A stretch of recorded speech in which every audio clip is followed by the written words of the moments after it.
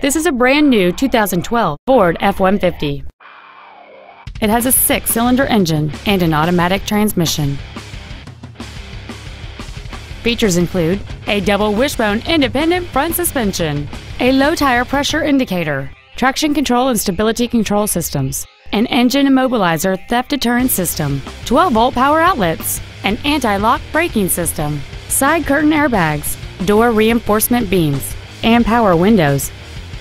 Please call us today for more information on this great vehicle.